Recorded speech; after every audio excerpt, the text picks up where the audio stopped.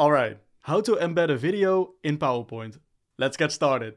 What you're seeing is an opened PowerPoint project. Now I would like to add a video to this slide. To make this happen, head over to Insert in the top menu and try to find video. When you click on it, you will see a little menu pop up and you will have the option to embed a video from your file, from PowerPoint stock, or from online sources like YouTube. Alright, let's start by adding a video from file. Once you clicked on the option, select the video you would like to embed to your PowerPoint slide and click on Insert. And after a short moment, your video will be embedded. You can move the video around and use the side and corner options to reshape and resize it. For now, I would like to make it fit into the laptop illustration right here. You can further edit the video by clicking on the video itself and heading over to the video format menu for color corrections, video borders, alt texts and more. Now let's say you would like to embed a YouTube video in your PowerPoint. Simply head back to insert in the menu and find the video menu again. This time you will select online film.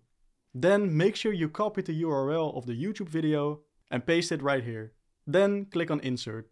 And now your YouTube video is embedded in your PowerPoint slide. Again, feel free to reshape and resize the video however you like. It could also be the case that you want to add a link to a video in your PowerPoint. To make this happen, select either a piece of text or an icon and right click it to open the side menu. Then click on link. After that, you can add a video link from your file from the select option like so, or paste another web page or YouTube URL of a video. Then click on OK. Now, when we play back the PowerPoint slide, you'll be able to click on the link embedded in the text or icon. And that's how to embed a video in PowerPoint. And side note, if you would like to create amazing real-time audio or video presentations with your PDF slides, you can easily make this happen with Veed. And on top of that, you can create amazing video designs and add subtitles, audio visualizers, music, and text to all of your videos. Feel free to check it out. I put a link for you in the description and you can start by creating an account for free.